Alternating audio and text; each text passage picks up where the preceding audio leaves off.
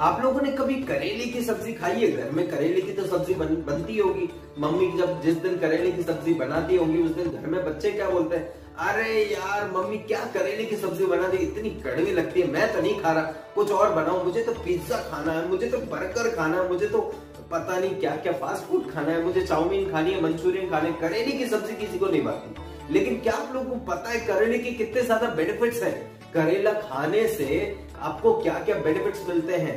अगर आपको नहीं पता तो चैनल को अभी के अभी करिए सब्सक्राइब और बेल आइकन को दबाना मत भूलिएगा, तभी आपको मिलेगा मेरे हर वीडियो को नोटिफिकेशन टाइम पर। तो चलिए दोस्तों वीडियो को शुरू करते हैं।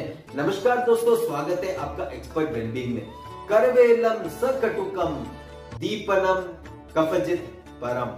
अब दोस्तों, Ashtanga Hridaya chapter number six श्लोक नंबर एटी अब दोस्तों ये जो मैंने बताया है श्लोक उसका मतलब क्या निकलता है? कर, करेला जो है उसका जो रस रहता है वो कटु रस रहता है। कटु रस के साथ साथ में ही इसका जो ये दीपनीय होता है।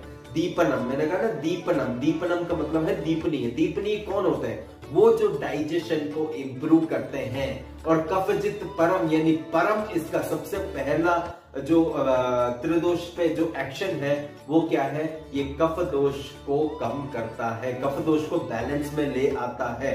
तो दोस्तों, जिनको भी कफ दोष रिलेटेड प्रॉब्लम रहती है, जैसे कि अस्थमा कोल्ड कफ टीबी इन सारे लोगों के लिए karela is the best medicine इससे बेस्ट कोई मेडिसिन हो भी नहीं सकती।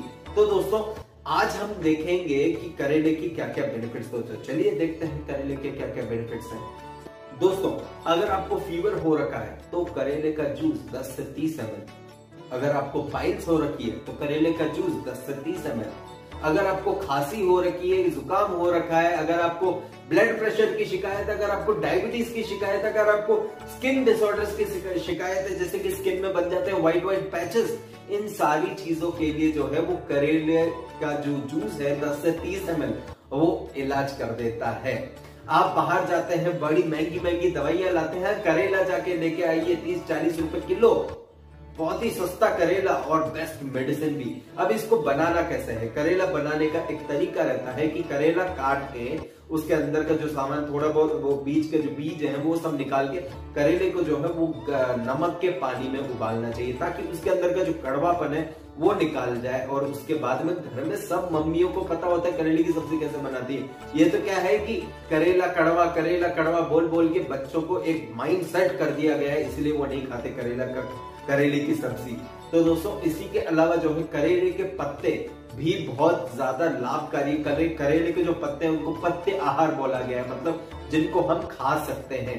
अब करेले के जो पत्ते रहते हैं, वो पित्तग्न होता है, यानी पित्त दोष को बढ़ाता है और कृमिग्न होता है, यानी जो वर्म इन्फेक्शन रहते हैं अपने पेट के अंदर, उनको खत्म करता है, यानी पित्त दोष को बढ़ाना और वर्म इन्फेक्शन को भी खत्म करता है, यानी बच्चों को जिनको पेट में डाइजेशन नहीं होता या फिर छोटे छोटे बच्चे बच्चे नहीं रहते जो, जिनका जो, तीन, चार, पाँच साल के होते होते हैं, उनके पेट में एंजाइम्स पूरी तरीके से बने नहीं होते।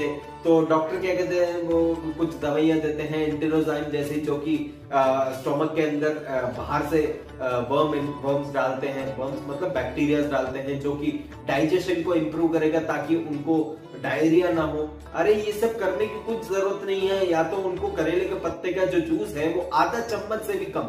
थोड़ा सा उनको पिला दीजिए तो उनका डायरिया रुक जाएगा।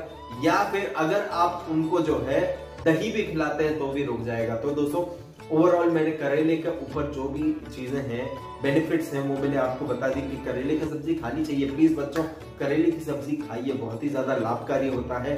मम्मी को मना मत करिए बिल्कुल कड़वा नहीं होता, बहुत ही ज़्यादा टेस्टी रहता है करेले की सब्ज़ी। तो दोस्तों, अभी अभी भी अगर आपको कोई भी क्वेरी कोई भी डाउट हो तो मुझे नीचे कमेंट सेक्शन में पूछ सकते हैं। मैं जल्द से जल्द आपको रिप्लाई करूँगा।